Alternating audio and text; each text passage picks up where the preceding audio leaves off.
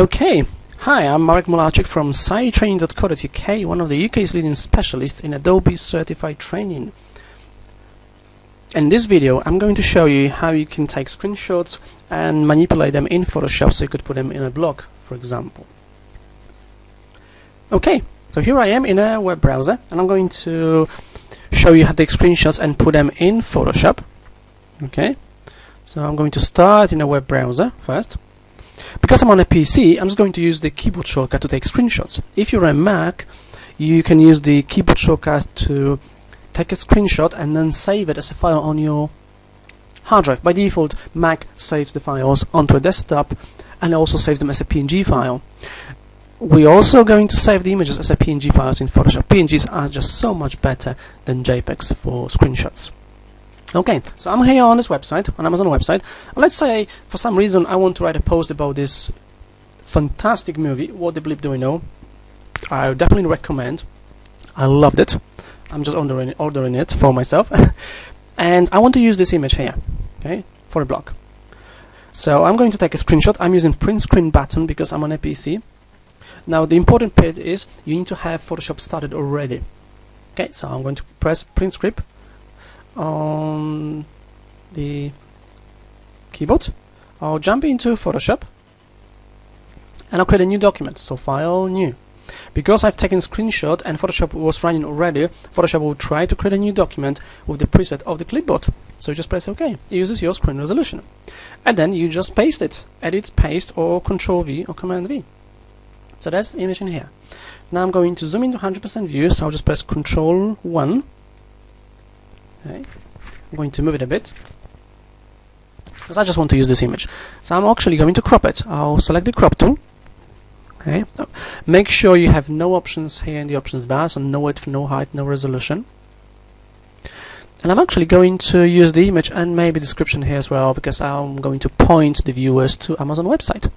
So I'm going to click and drag. Now don't worry, don't try to be too precise when you start. With You'll be able to change it in just a moment so I'm going to crop that like that. Now you've got the handles here so you can resize it. You can drag it up and down. A bit here maybe a bit here. If you want to reposition it you can easily use arrow keys on your keyboard. This looks good. Maybe a bit less space here. Okay.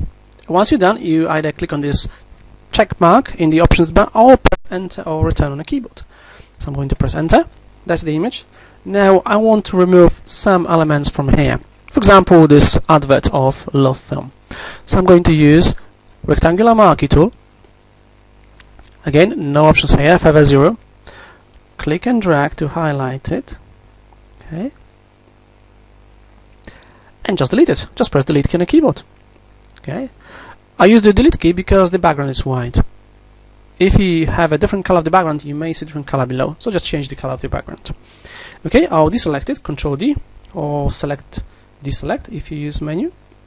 Okay, anything else you want to remove from here? I'll keep the movie title, the format DVD, the actors, that's fine. Like, maybe there's one as well, so I'm going to zoom in a bit more. I just want to remove maybe that thing here as well. I'll just leave the stars. I don't want that here and I'll move it a bit. Okay again delete key and deselect it with price I'll leave it and this item delivered free in UK that's fine. In stock that's fine. And maybe I'll just get rid of that as well. So again I'm just deleting it. Looks great. I'll zoom out to back to 100% now it's time to export it if you're going to put it on your own blog and you're hosting it yourself, it's important how big the file is. So we're going to optimize it for the web now.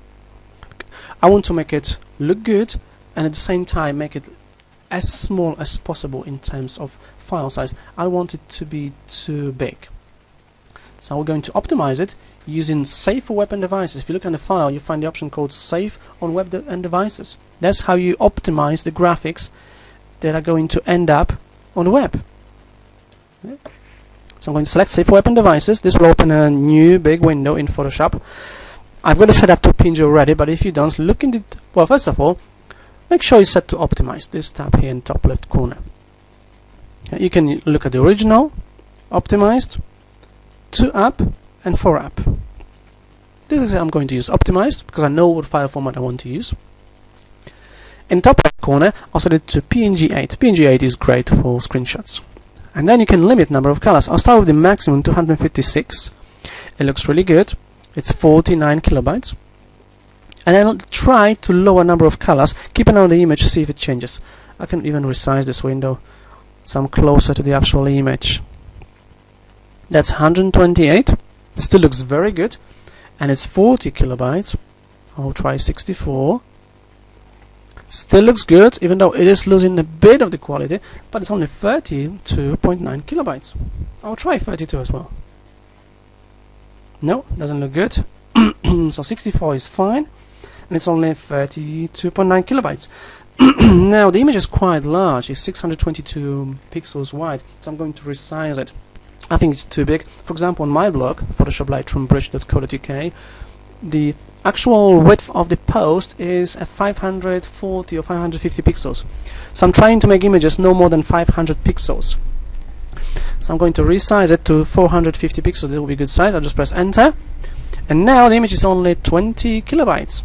Looks good. I'm ready to go. Convert to sRGB. Make sure it's checked. That's great. What about the preview? I'll just use the standard RGB with no color management. That's what people with the monitors not calibrated see. And I'll click save okay. What do you want to save it I'm going to save it on desktop. I'll call it uh, screenshot. Okay. Format images only. Settings default settings. Okay. And just click save. And that's how you save the file. I'm going to have a look on the desktop to see what it looks like. Okay. So this is the file. Screenshot. It's 21 kilobytes. It's 450 pixels. I'm going to open it with the photo viewer so just right click on it open with Windows photo viewer and that's the image. The reason I used right click is because the way I've got set up on my machine is if I double click on it it will open with Adobe Fireworks you can see it here. If I just open with the first option here is Fireworks on the top.